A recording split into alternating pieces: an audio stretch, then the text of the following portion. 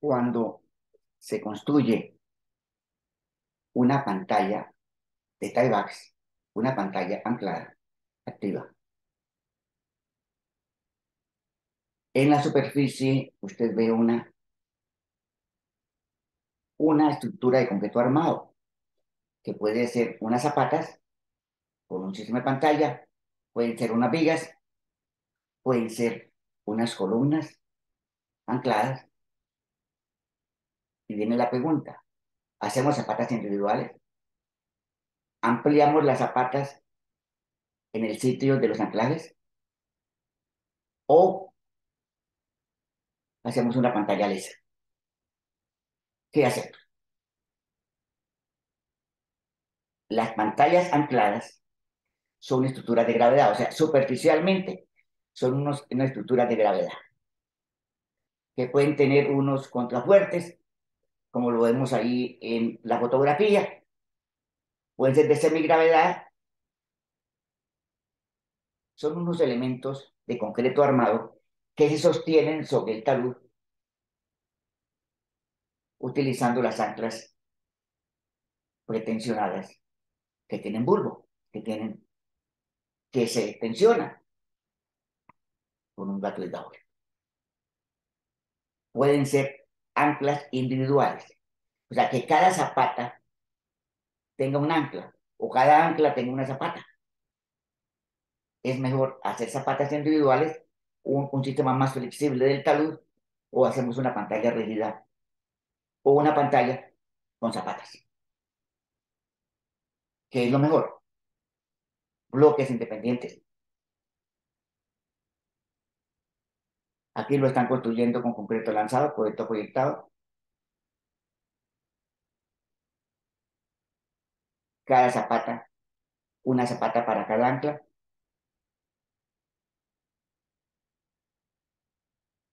Lo hacemos separados cada cuanto. Lo hacemos de bolillo. O los hacemos adosados unos a otros. Ahí se observa que a pesar de que se, se, se hizo una pantalla continua, cada ancla tiene una zapata con una junta. O sea, las zapatas están adosadas entre sí, lo cual hace que el sistema sea más flexible. ¿Queremos que el sistema sea flexible o queremos que el sistema sea rígido? Cada caso es cada caso. Y nosotros debemos diseñar para las circunstancias de cada sitio. Bloques rectangulares, alineados horizontal y verticalmente. En cada zapata un ancla con una carga específica, 50 toneladas, 70 toneladas, 30 toneladas. Verticalmente trebolillo o verticalmente alineadas a mí me gusta mucho para este caso de zapatas que sean tres bolillos, o sea, que no queden alineadas verticalmente, dejando espacios entre las zapatas o alineadas. Las, estas zapatas en suelos de roca, en suelos rocosos, permiten cargas de 100, de 200, de, de una gran cantidad de carga. Si el suelo es rocoso. Si el suelo es blando, usted no puede tener en cada zapata. Y si el suelo blando, usted no hace zapatas. Las zapatas individuales son para suelos duros. En suelo blando usted debe hacer una pantalla con un diámetro, con un espesor determinada toda la pantalla. Este caso es para suelos duros. Y el en el espacio entre una zapata y otra se puede colocar una pantalla delgada, una pantalla de 15 centímetros, y las zapatas sí pueden tener 30, 40 centímetros de espesor. N número de anclas. Este es más común en el sistema de clavos, no en las anclas pretensionadas. Las anclas pretensionadas usted tiene un espaciamiento por lo menos de 2,50, de 2.5 metros entre una ancla y otra. Pueden ser bloques en cruz, arquitectónicamente atractivos. Los ingenieros debemos aprender a hacer estas obras atractivas. Esas, esas anclas que se han hecho en esta vía Girón, el sector urbano de Girón, qué anclas tan poco atractivas, casi que indecentes. Los ingenieros debemos aprender a hacer obras arquitectónicamente amigables. Este caso, por ejemplo, unos bloques en cruz. Mire, estos bloques en cruz. Todo un sistema de vigas, pareciera que fuera de vigas y columnas o vigas en dos direcciones, con espacio verde entre ellas, atractivo arquitectónicamente. Los ingenieros debemos aprender a hacer obras bien presentadas, porque esas obras de ingeniería en sitios tan visibles dan vergüenza. Este caso de la vía Bogotá-Villavicencio se utilizaron bloques prefabricados. Se prefabricaron las zapatas, se llevaron con una grúa para enhebrar las anclas y colocarlas en el sitio. Aquí vemos al lado de la vía Bogotá-Vicencio los aceros de cada uno de los bloques prefabricados bloques prefabricados, aproximadamente media tonelada, un poco menos de una tonelada cada elemento. Se prefabrican, luego se transportan y se enhebra. La enhebrada de las anclas es algo muy complicado poderle, poder coger el bloque y es como ayudando una aguja. Es algo bastante complejo. Se negaron y ajustaron. Bloques independientes. Sin embargo, después se colocó una pantalla delgada entre ellos. O este superbloque. Esto es en la ciudad de Pereira, en la variante Romelia el Pollo de autopistas del café. Estos bloques prefabricados se traen en cama baja, se levantan con grúa, se enhebran. Un trabajo muy peligroso, con mucho riesgo y muy complejo. Enhebrar los cables en los huecos de la zapata es un trabajo complicado. Miren cómo quedan las zapatas. Luego se planteaba hacer una pantalla delgada entre ellas. Zapatas prefabricadas de gran tamaño. Eh, en la izquierda se ven las zapatas recién colocadas en la zona del deslizamiento. En la derecha se ve el trabajo terminado. muy complejo en, en zonas de alta pendiente. El sistema hubo, tuvo que ser modificado. Es muy complejo manejar estos bloques de este tamaño. Entonces se hicieron lo que yo llamo unos ñocos, unos elementos más pequeños, prefabricados, en los, cuales se enelgaron para las anclas, pero ya mucho más pequeños, más fácil de manipular, de menor tamaño y luego se fundieron. Se fundieron los, las pantallas utilizando estos elementos pequeños prefabricados. Pero lo más común, lo más frecuente es utilizar bloques fundidos in situ. O sea, se funden in situ utilizando una formaleta, puede ser formaleta de madera, puede ser con maleta metálica, pueden ser con concreto proyectado como lo vimos anteriormente. Refuerzos similares a los de una zapata convencional. No hay una norma sobre qué, cómo deben ser los, los refuerzos en una zapata de una, de una ancla activa. Miren esta, este sistema. Vimos el anterior y veamos este. El refuerzo puede armarse como una caja o puede hacerse un sistema de refuerzo en la parte más profunda de la zapata. Una caja de refuerzo. No hay normatividad específica sobre esos aceros ni sobre el procedimiento de construcción. Mire que acá se construyeron enterrados dentro del talud para que después las zapatas no se vieran en la fachada. Zapatas internas en cada sitio de ancla. Zapatas talladas en el talud, integradas con el muro pantalla. En la mayoría de los casos, las zapatas individuales se construyen individuales y se integran utilizando un muro, una pantalla con una malla, una pantalla delgada. Otro sistema. Zapatas unidas por vigas. Ese es un terraplén.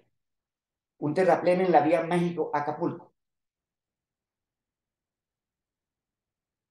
El terraplén se estaba desplazando, entonces se le colocaron estas anclas activas estas zapatas con sus anclas, unidas con estas vigas para el soporte del terraplén que se estaba desplazando. Zapatas con vigas.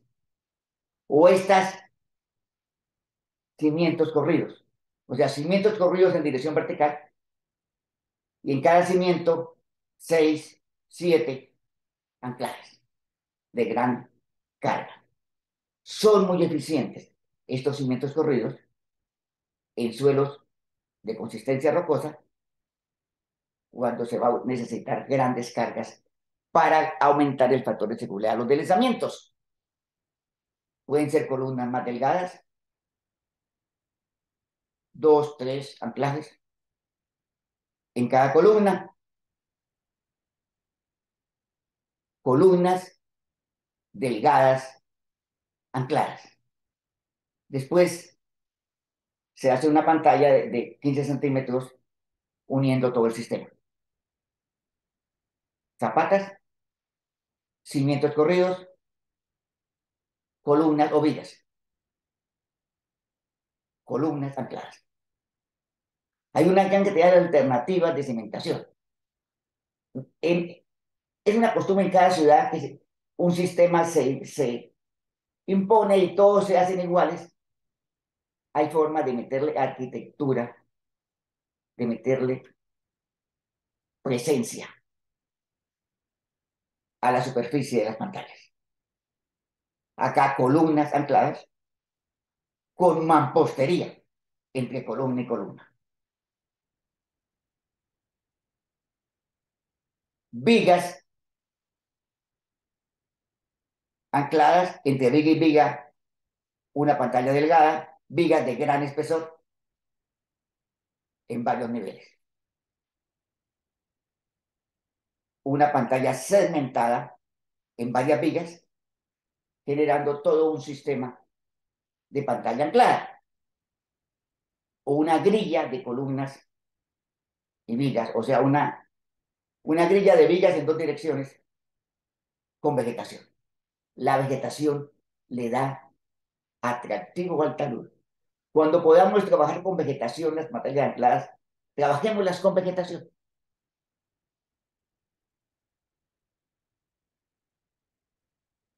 Mejoramos el paisaje, mejoramos el medio ambiente.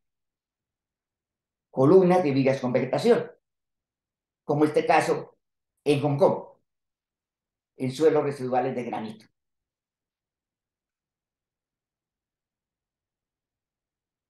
Pero usted puede hacer vigas y columnas en varias direcciones, acomodarles a la topografía y luego hacer una pantalla delgada. Tenemos muchas opciones arquitectónicas. Un sistema poco utilizado en el medio es, el, es este utilizado en los Estados Unidos, que lo llaman soldier beams. Son unas vigas, unas, unos pilotes, digámoslo así, metálicos hincados, y luego a medida que se van construyendo, se van colocando travesaños de madera. No es un tema en, en nuestros países muy utilizado en los Estados Unidos. Se hinca o, o, o se coloca una preperforación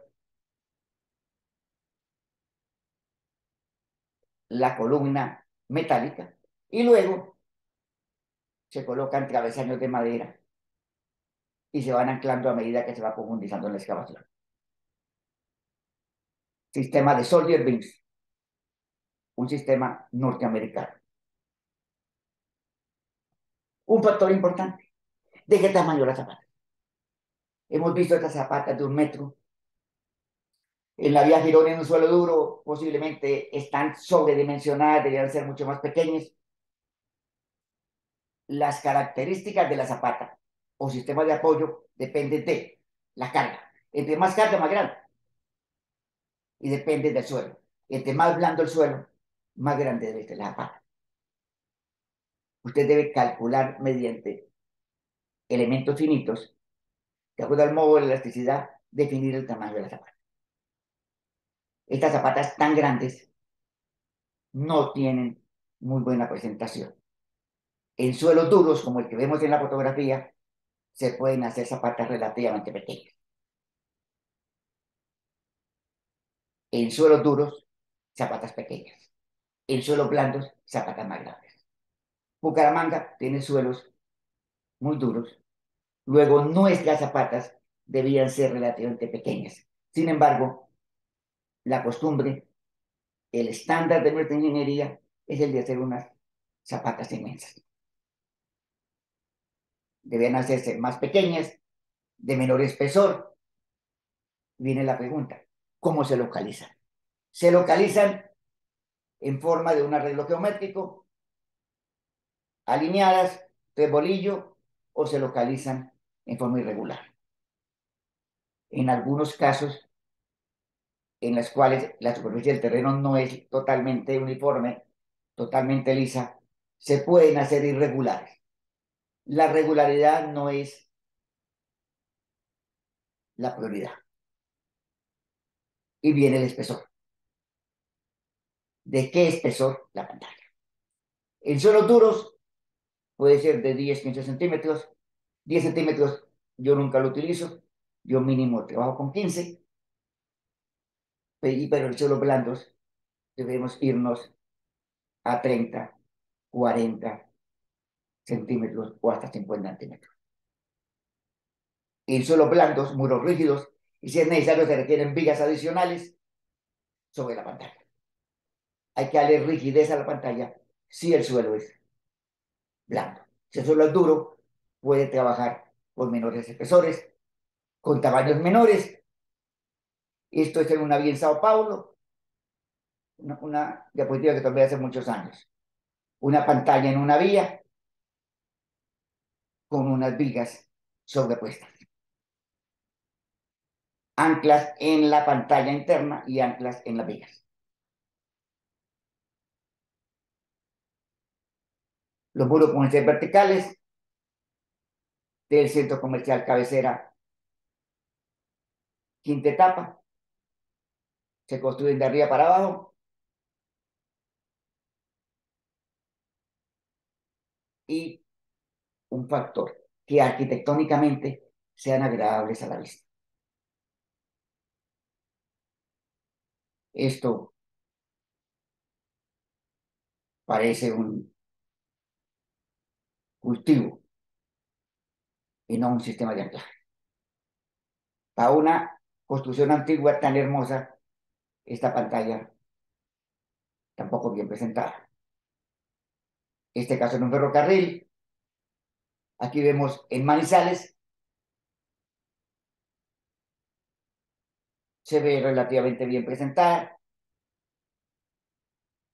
Arquitectónicamente, las pantallas deben ser agradables a la vista. Adicionalmente, el tamaño, el espesor, la localización de las zapatas, los refuerzos. Cada pantalla necesita una conceptualización técnica independiente. O usted no puede repetir pantalla de un sitio para otro. Cada pantalla requiere una conceptualización.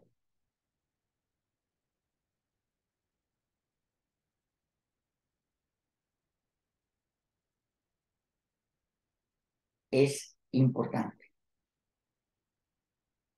Quiero insistir construyamos pantallas agradables arquitectónicamente.